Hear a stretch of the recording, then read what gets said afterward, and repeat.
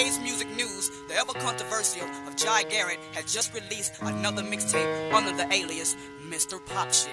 Music insiders are running wild and trying to rearrange other artists' street dates in fear of a wipeout in retail and intercharts moves. Although no one knows the exact cost of the new album, JG, excuse me, Mr. Pop Shit had this to say. Yeah, I'm coming in.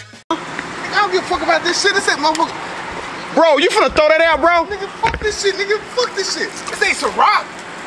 You know what I'm saying? Fuck this shit. That's a whole bottle. I want my money for that too. Nigga, fuck this shit. Niggas ain't no motherfucking Ciroc. This nigga, hey, bro, you paying me for that shit too, nigga.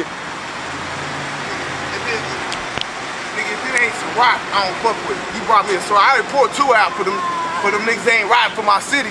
I want my Oh, money for that for too. me. Nah, I don't care. I want my money for that, bro. Nigga, you, okay, okay. You just pulled out a whole bottle of fucking. Nigga, fuck that shit.